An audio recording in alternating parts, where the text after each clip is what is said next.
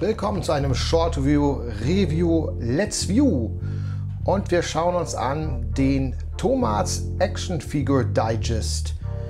Der Tomat ist ein amerikanisches ja, Actionfigurenmagazin.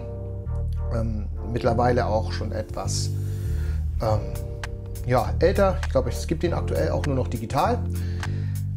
Da werden die neuesten Toys vorgestellt, aber auch etwas ältere. Ja, schauen wir uns einfach mal an. Das ist jetzt die Nummer 194 und 95, so eine Doppelausgabe. Und ich kann euch schon sagen, ist aus dem Jahre 2010, also schon elf Jahre alt.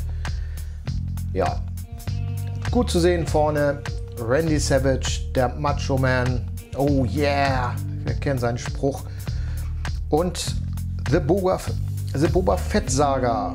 Mit um Boba Fett geht es. Passend im Dezember kommt Boba Fett mit seiner eigenen ja, Action-Live-Serie The Book of Boba Fett, ein Ableger von The Mandalorian heraus.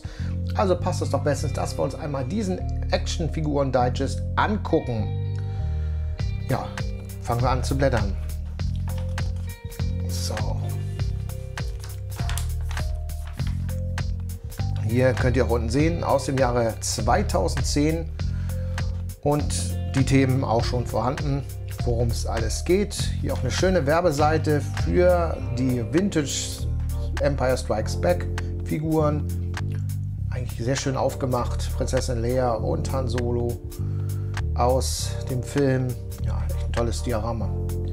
Und auch die Actionfiguren, eben halt klassische Blistercard-Figur, etwas moderner und neuer interpretiert. Ich überlege gerade, ob ich mir da, oder ich, irgendwie habe ich das Gefühl, ich müsste mir Prinzessin Leia in diesem Outfit neu kaufen.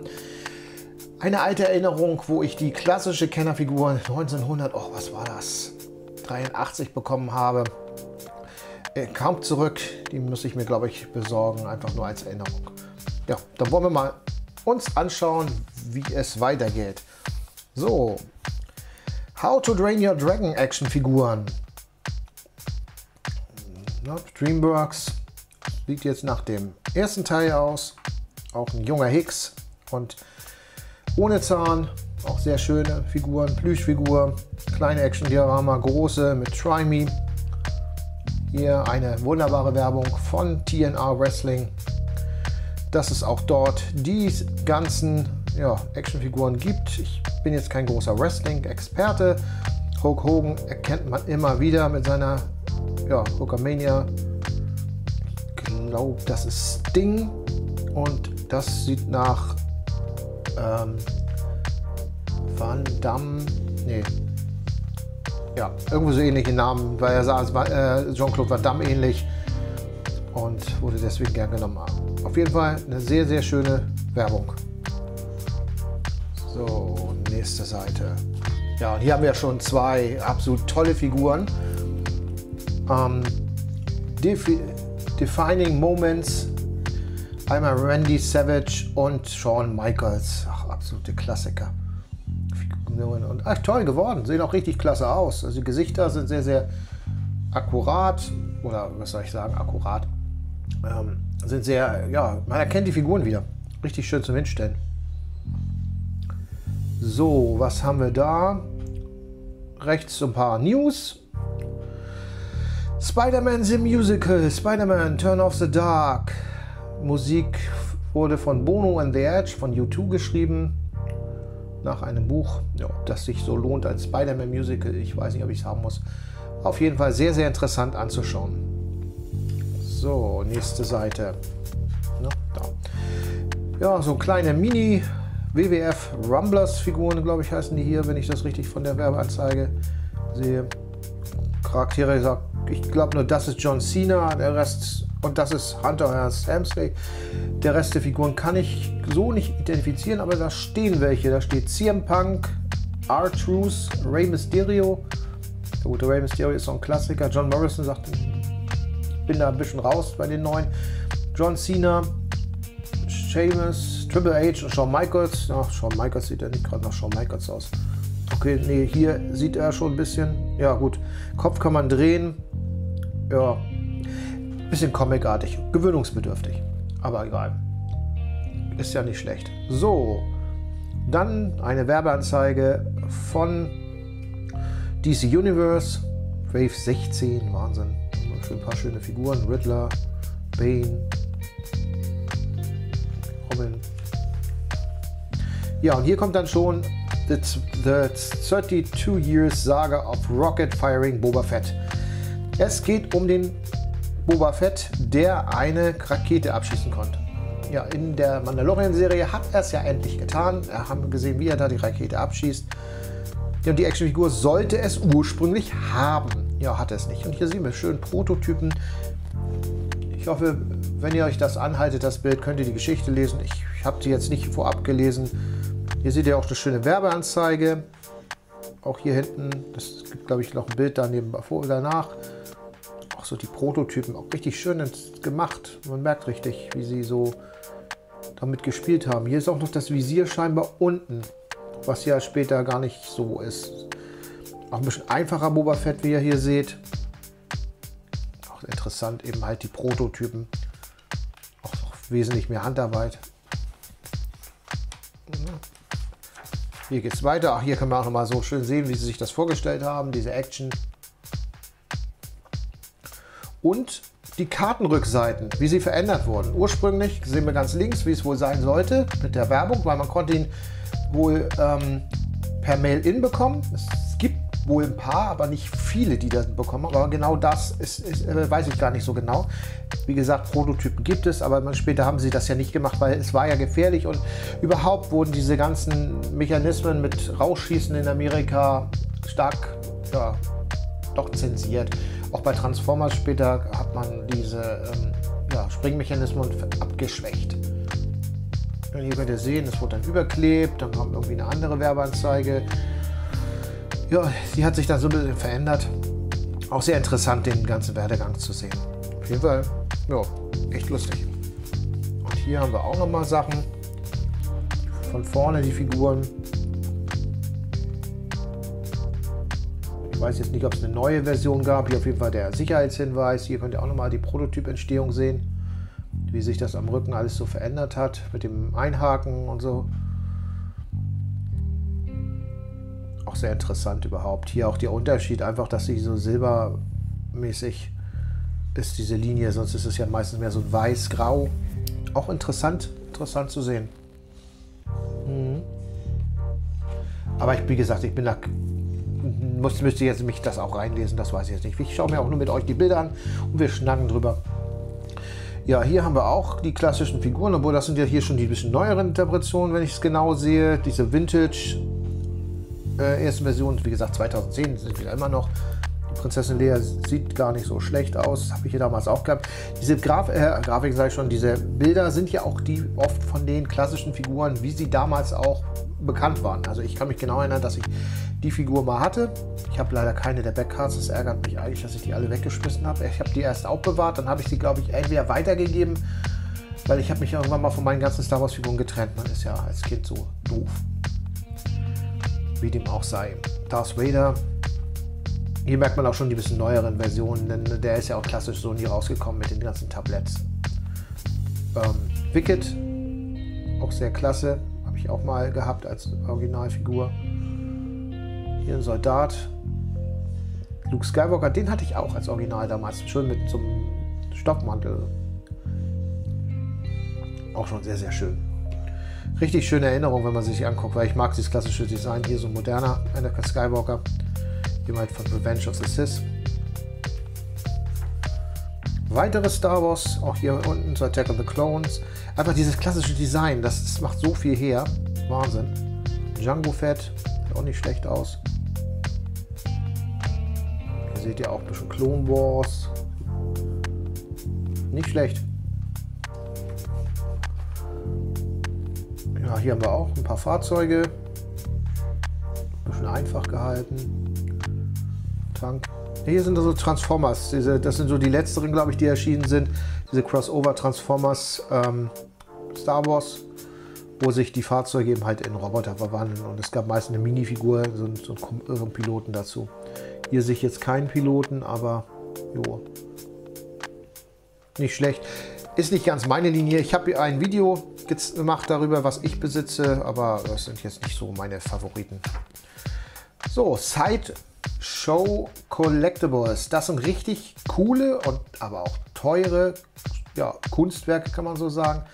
Schon äh, Artworks, Büsten, Figuren, ihr seht es ja, Dioramen, absolut kultig und auch sehr, sehr detailliert mit Stoff, mit, äh, ja, sie werden zusammengesteckt auch meistens. Ich habe also mehrere schon gesehen, aber Wahnsinn. Man blättert da auch mehrere hundert Euro hin. Sehr schönes Diorama hier aus Revenge of the Sith. Oder Revenge of the Jedi. Ähm, ja, Imperator. Hier eine Elektra, noch dem Comic. Freitag der 13. G.I. Joe, auch sehr, sehr schön.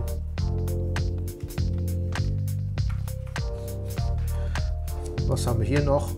Auch, auch sehr schön. Schöner Spider-Man, kann man so hinbauen wahrscheinlich. Hier so ein, so ein Stück von Hausecke oder so ein bisschen auf so einem Ständer.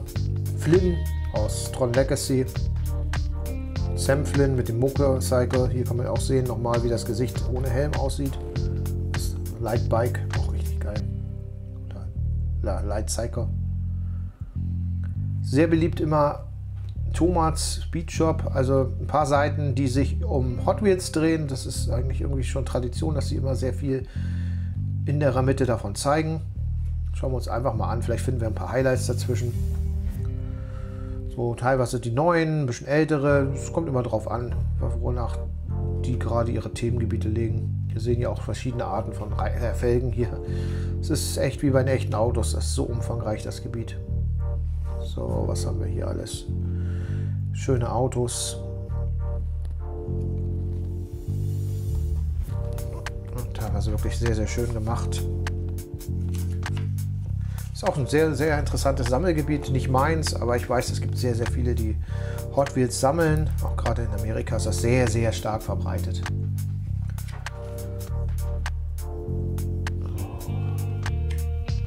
Ihr seht also allein hier, es ist, ist Wahnsinn, was da rauskommt witziger Wagen, schon fast sehr futuristisch.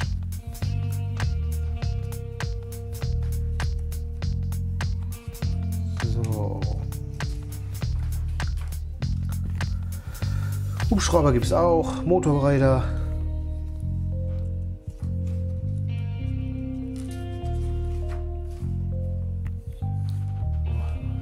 Snowbike, Dragstar. Ihr seht es sehr, sehr vielseitig mit äh, Hot Wheels. Hier auch so eine Holiday Cars. Werbeanzeige. Es gibt auch einen eigenen Thomas Guide zu den Hot Wheels. Kommen wir so was Interessanten. Kotobukiya.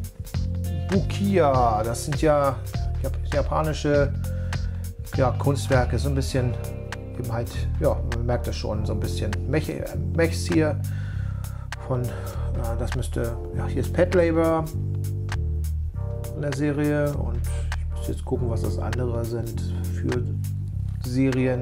Könnte auch aus Pet Labor sein, aus dem, Animation, äh, aus dem Realfilm oder Realserie. Ein Kolossus aus X-Men, wo auch Preise gewonnen.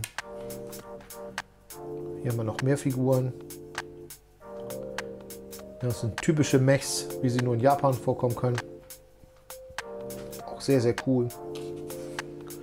Oh, und hier haben wir auch Mechs, aber Transformers. Was ist denn da gerade rausgekommen? Der Grimlock Masterpiece in der US-Version. Ihr seht Einfachkeiten. Ich weiß, dass die US-Version exklusiv äh, zuerst die Krone dabei hatte, was ähm, eben halt König Grimlock sozusagen.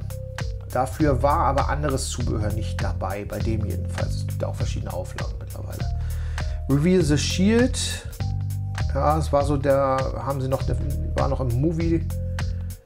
Ja, hier sehen wir auch Dark of the Moon. Das heißt, es kam alles so ein bisschen in diesem Rahmen. Das war so eine Mischung aus beiden. Klassische Figuren hier versuchte man neu zu interpretieren. Strafe nach einem äh, äh, Charakter von Computron sozusagen, von der Gruppe, von der Technobat-Gruppe. Rebel ist ja auch ein Klassiker aus G1, auch hier wieder so ein Greifhaken, aber eben halt sehr, sehr neu, kopfähnlich. Aber das war es auch eigentlich. Damit haben wir nicht viel gemeinsam. Locknut, ein Charakter, der zum ersten Mal vorkam in der Animated-Serie und irgendwie so sich dann festgesetzt hat. Ich habe jetzt keinen davon. Oh, was haben wir hier noch? Ja, so ein paar klassische Figuren. Haben wir ja, gut, einen Jazz, der sieht nicht wirklich nach Jazz aus. Special Ops Jazz. Starscream, Trail, Cut, Trail Cutter anstatt Trail Breaker. Also Trail Breaker ist ja unser G1. Ich weiß nicht, ob es da eine rechte Sache gab. Turbo Tracks. Na gut, das sieht mehr nach Jazz aus, muss ich sagen. Aber na gut, nennen sie Tracks. Prowl, Optimus Prime, Megatron, Bumblebee. Ja gut, ein ganz einfacher Bumblebee. Auch kein schöner.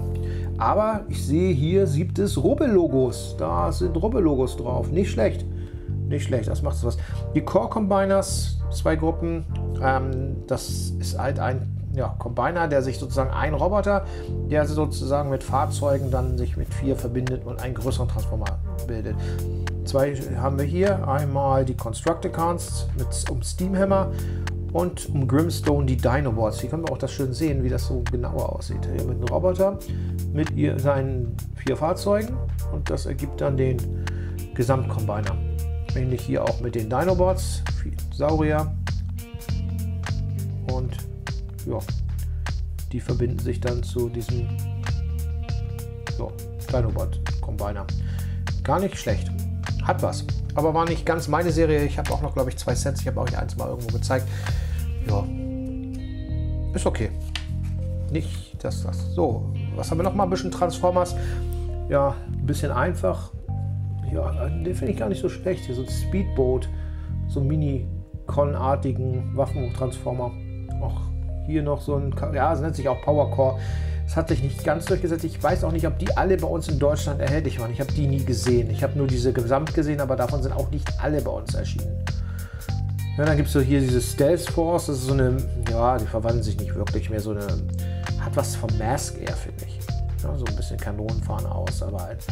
Roboter können sich nicht verwandeln, aber ich sehe auch hier hat man versucht mit dem Rubble-Logo wieder mal zu arbeiten. Echt cool. Ist viel zu selten durchgekommen. Auch hier in Action International, das zeigt immer so ein bisschen den äh, internationalen Markt von, ja, wie soll ich sagen, von den, äh, ja, von Toys. Und hier sehen wir ja auch Dr. Who-Figuren. Gut. Auch sehr schön detailliert, also, ups, UK Comics. Sorry, ich bin gegen den Kamerakran gekommen, damit ihr besser sehen könnt. Auch hier weitere Dr. Who-Figuren. Wer mit der Serie vertraut ist, der wird sich hier wiederfinden. Aber auch sehr, sehr schön gemacht für europäische Figuren, muss man ja sagen. Die Daleks, so ein bisschen kenne ich das, aber ich bin jetzt nicht so der Schauer. So, hier haben wir jetzt mal ja, von aus der Vergangenheit. Das sieht jetzt nach Batman-Spielzeug und Co. aus. Und nicht nur so, was es damals rausgekommen ist etwas ältere Sachen. Hier so eine äh, Fallschirmfiguren, aufblasbare Figuren. Auch interessant, was es so gibt. Das, ist, das macht das Magazin interessant. Es gibt neue Figuren, die demnächst kommen, ältere Sachen, ein paar Themen. Ah, hier auch Batman-Spielzeug, auch sehr interessant. Space 1999 ist bei uns unter dem Titel Mondbasis Alpha 1 erschienen. Hier sehen wir auch die Igel, ähm, ein Igel, Raumschiff, auch sehr kultig. Flintstones, Bugs Bunny, Planet der Affen. Auch sehr interessant zu sehen. So, hier haben wir nochmal DC Direct. Schöne Figuren. Sexy Hawkgirl, Batman. Den kenne ich jetzt nicht. Joker gegen Batman. Hier kam Hinweis auf den Thomas Store, wo man auch schon bestimmt einige Sachen dann eben bekommen konnte. Hier seht ihr auch noch ein paar andere Magazine. Viele habe ich gar nicht mehr. Ich hatte mal echt über 100. Da ist vorbei. So, weiter geht es. Ja, hier sozusagen habt ihr eins verpasst. Bestellt es nach an Magazinen oder Sonderhefte. So, was haben wir hier noch? Marvel-Figuren. Marvel Universe. Auch sehr interessant. X-Men. Ja, nicht schlecht. Ghost Rider. Hier so diese Superhero Squad, diese so ein bisschen diese kleinen gedrückten Figuren. Hier sehen wir die auch besser sehen. Nicht ganz mein Fall. Es gab auch von Transformers welche. Ich glaube ich nur eine Verpackung, eine Packung mir mal gekauft, aber die war auch nicht so. Das war nicht das war nicht ganz mein Ding. Captain Britain. Auch nicht schlecht. So, was haben wir hier noch? Weitere X-Men-Figuren, etwas detaillierte. Hier ist ein G.I. Joe noch. G.I. Joe Skydive, müssen auch ein paar gekommen. Also was wir aktuell so nochmal kurz zum Ende des ja, ähm, Redaktionsschluss reingekommen ist, haben sie nochmal ein bisschen was eingebaut. UFC-Werbung, ja, es ist ja auch so Ultimate Fighting Championship. Auch Kämpfer. In Amerika ja genauso gehypt wie äh, Wrestling. Ja, dann haben wir nur noch eine Werbeseite am Ende von Marvel Helden. Auch sehr, sehr schönes ja, Diorama. Kann man ja nicht anders sagen. So, das war ein Let's View des Tomat Action Figur Digest aus dem Jahre 2010.